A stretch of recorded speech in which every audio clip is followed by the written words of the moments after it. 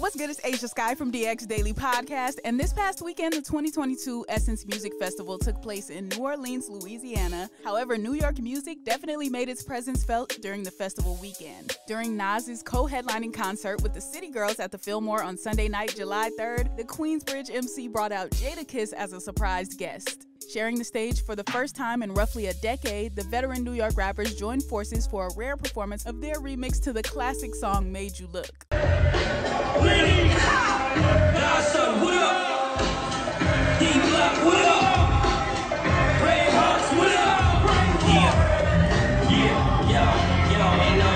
The heart. When I kick in the door with D block, brave and the double R. Don't make me let the machine off. This is methadone music that you can lean on. The remix with me up on it, I cop some shit. Now I break weed Jadakiss posted a video of the moment on Instagram with the caption, Esco, what's up? Bravehearts, what's up? At Nas, hashtag Essence Fest. Produced by Salaam Remi, Made You Look was originally released in September of 2002 as the lead single from Nas's sixth album, God's Son. The track peaked at number 32 on the Billboard Hot 100, which was Nas's third highest charting single, while cracking the top 10 on the Hot Rap Songs chart. A remix featuring Jadakiss and Ludacris soon followed up, with Kiss declaring himself top 5 dead or alive, and that's just off one LP. The trio famously performed the remix during Nas's Made You Look God's Son live concert at New York City's Webster Hall in 2002. Nas and Jadakiss have also linked up on Show Discipline, What If, Rain, and Fat Joe's John Blaze, as well as Just Because, an unreleased collaboration with Jay Z and DMX that was intended for Swizz Beatz' 2018 album Poison.